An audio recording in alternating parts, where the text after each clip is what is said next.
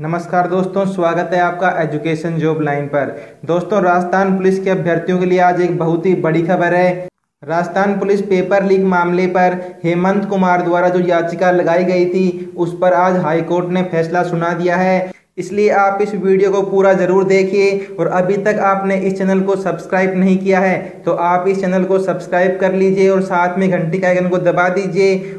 और हमने हमारे वीडियो के डिस्क्रिप्शन में हमारे व्हाट्सएप और टेलीग्राम ग्रुप का लिंक उपलब्ध करवाया है तो आप वहाँ से इन्हें ज्वाइन कर लीजिए, जिससे आपको कोई भी न्यूज़ हो राजस्थान पुलिस से संबंधित तुरंत आपको प्राप्त हो सके।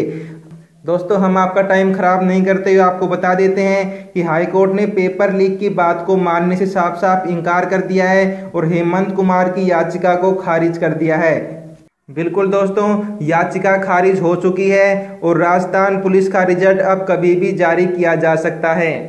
अब राजस्थान पुलिस का पेपर वापस नहीं होगा, जो हो चुका है वही रहेगा और आज या कल में आपका रिज़ल्ट जारी कर दिया जाएगा और इसके एक सप्ताह बाद आपके फ़िज़िकल भी स्टार्ट हो जाएँगे।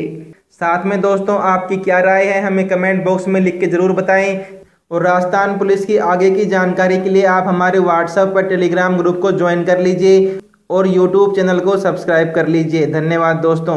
जैसे ही कोई नई अपडेट आती है, हम तुरंत आपको उपलब्ध करवा देंगे।